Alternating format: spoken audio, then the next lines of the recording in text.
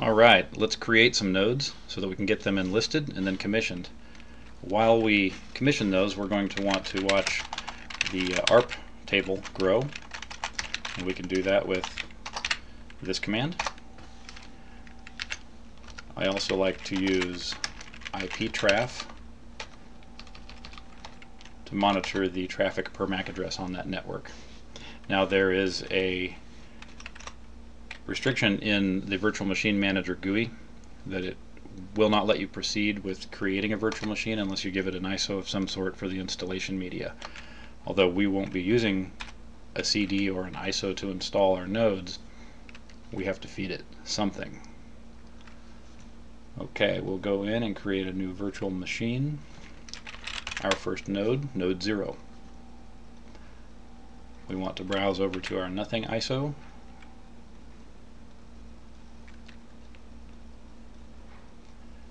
and we'll kick the RAM down to a half a gig since we'll be making a handful of these. As before, I'll manually provision this QCOW2 disk image where I want it to be. And as before, we want to customize before we proceed.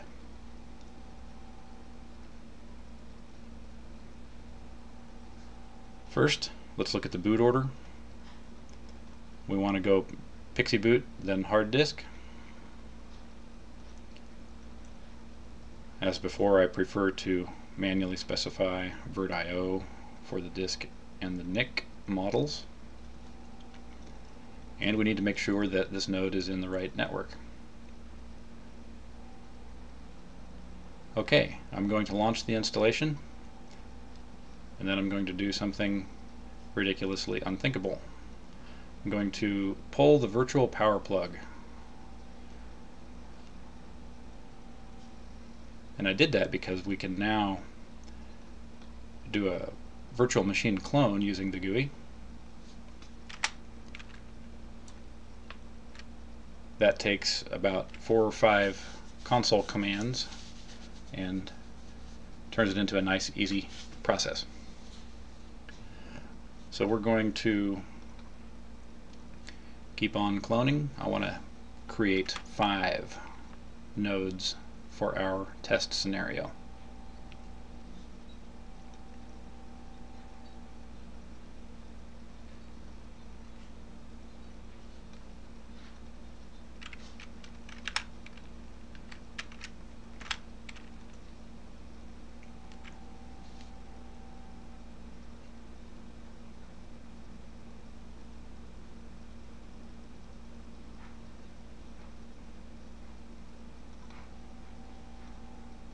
Okay, last one.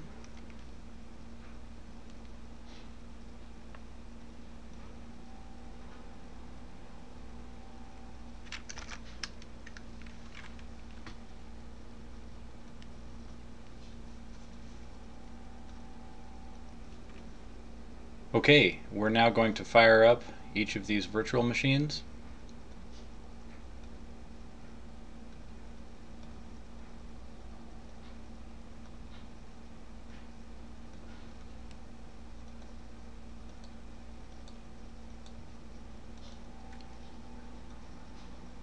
And we can watch them go through the boot process and commission themselves. This will take just a few moments.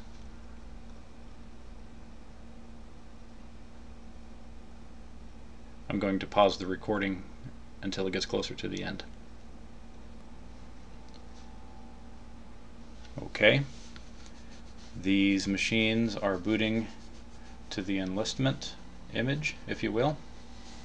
I expect they will register themselves and then shut themselves down.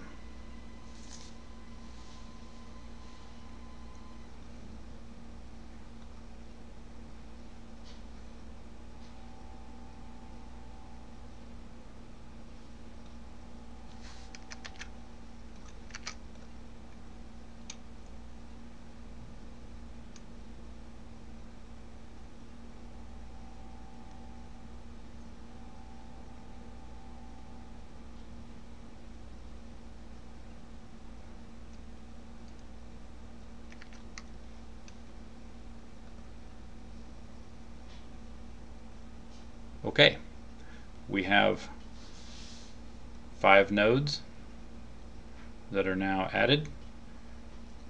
As soon as they shut down, we can go start configuring the power parameters. Before we do that, we kind of need to know which ones of these are node 0 through 4. And that will be fairly easy to determine.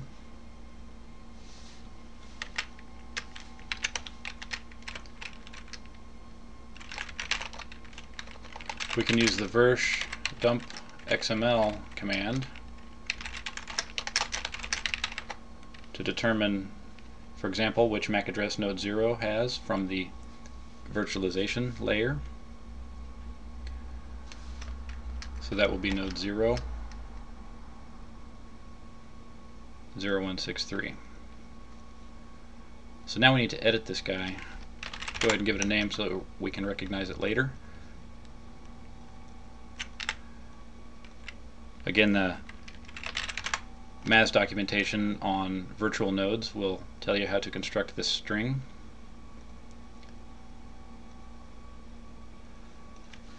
So now we'll go through and identify each of these.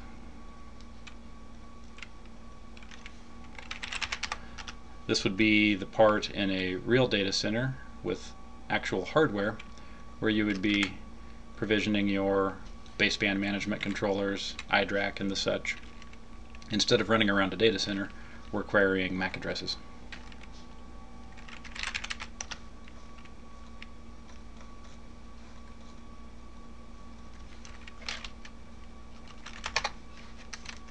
Seventy-two E.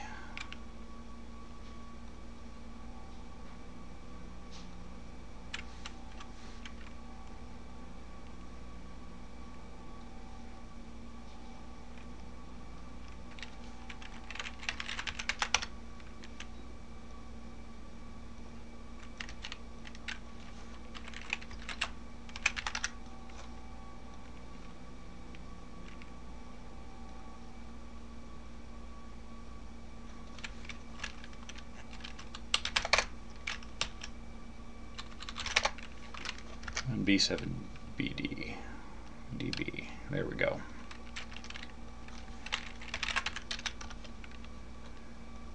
So this may seem like a lot of work, but it's far less work than configuring five physical servers, in my opinion.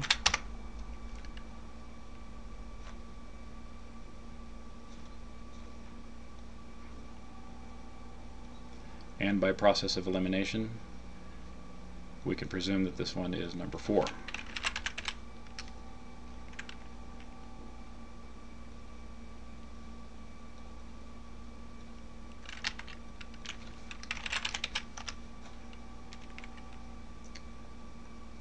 Okay, no more warnings and errors. Very good. At this point, we can go ahead and um, get these guys commissioned I IPTRAF monitor going again.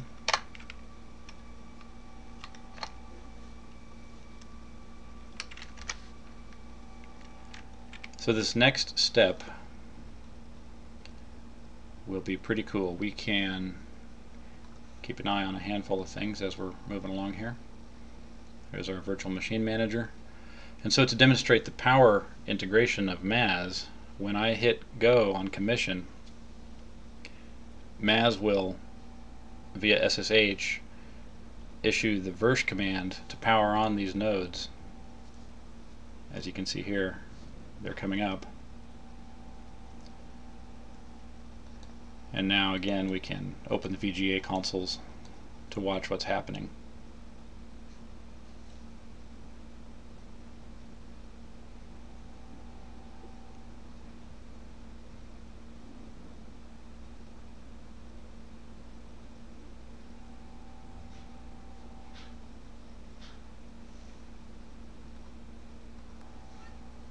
So take note over in our MAC monitoring area, we now see the IP to MAC associations in the ARP table. that can be kind of handy. Another tool I use to monitor virtual machines is called virt-top and uh, basically it shows all of the running virtual machines as well as some performance metrics.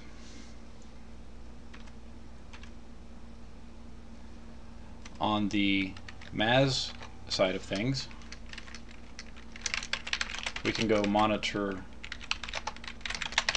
the log files just to kind of see what's happening behind the scenes. This is useful for troubleshooting and also monitoring. As some of the nodes execute and boot, you'll probably see some activity in these logs, specifically around things like DHCP and browsing the web interface and the PXE boot.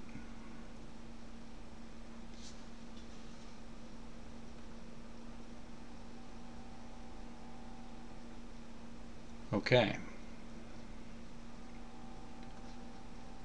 Our status back here is good. We're still basically in a state where we have five nodes that are um, still in the provisioning process.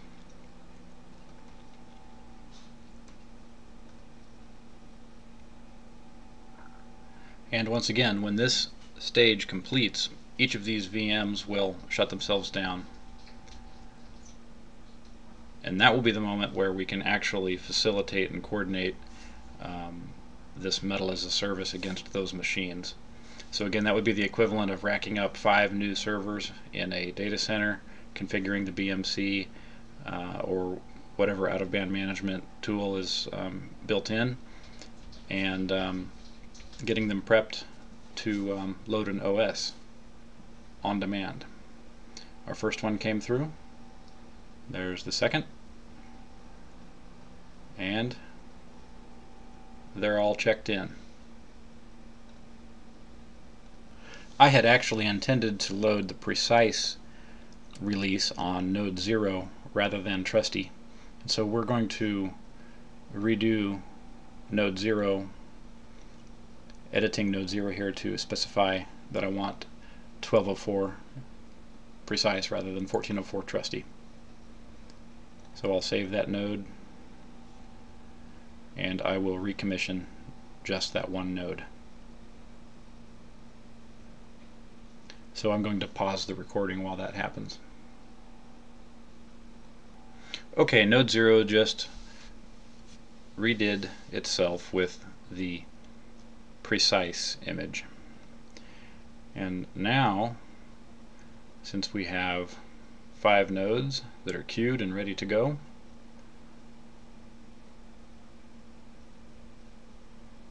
I'm going to ask them all to start, which should cause them to boot. One, two, three, four, and five.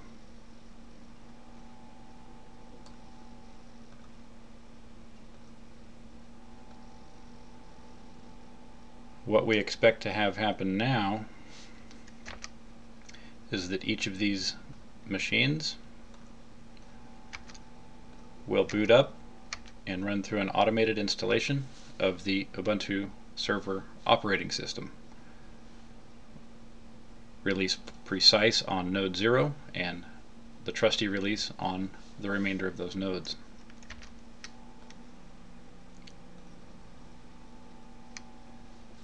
And again, our MAC table is populated. We can watch the traffic per MAC address here if we so choose.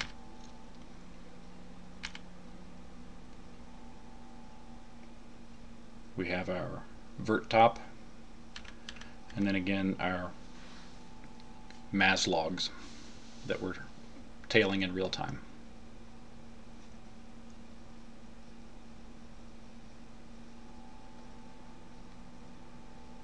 and they are all off to the races. I'm going to pause the recording because this will take quite a while. I did not select the option for fast path installation so it's actually going to go through the whole process of uh, downloading packages and installing rather than just booting from an image.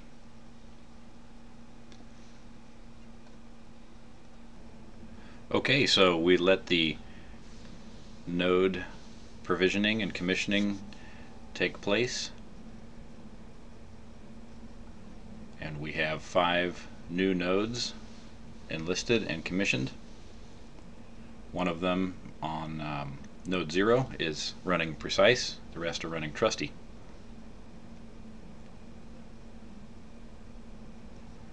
Next up is to confirm that we can access these via SSH.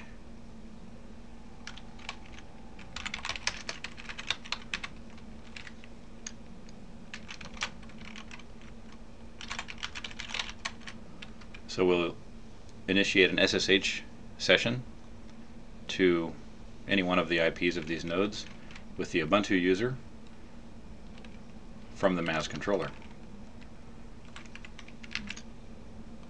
And indeed, we were able to log in.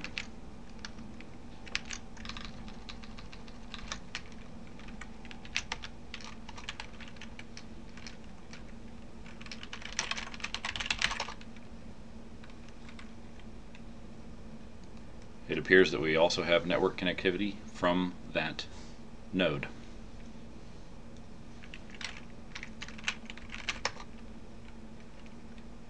So here's a little DNS trick.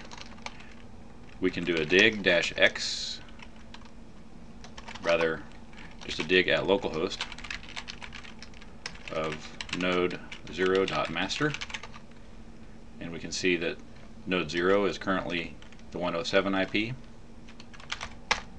and we can query each of them to obtain those IPs. As an aside,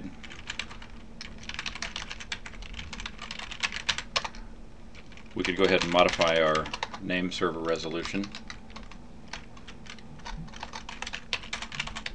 to query the local host. Keep in mind this change will probably not survive a reboot. To make it permanent, you would need to edit the interface. So now I should be able to just do a dig node0.master and find that it resolves. I'll scoot over to uh, a uh, full screen terminal here.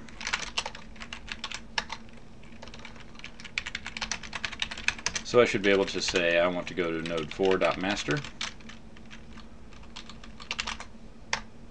like so and in I am. Just to confirm each of them, I'll do the same.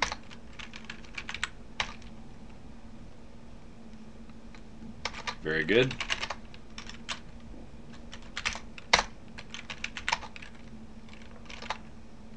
Okay, node 2. Node 1.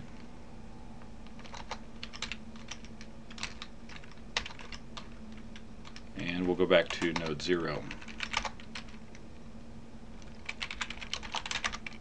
Just confirming that node 0 really is precise and um, as you can tell from the message of the day login on the others those were confirmed as trusty.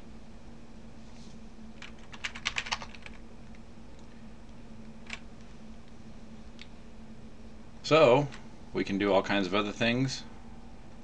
For example, we could stop the nodes I wouldn't recommend that. That pretty much is a hard stop and kills the power for those nodes.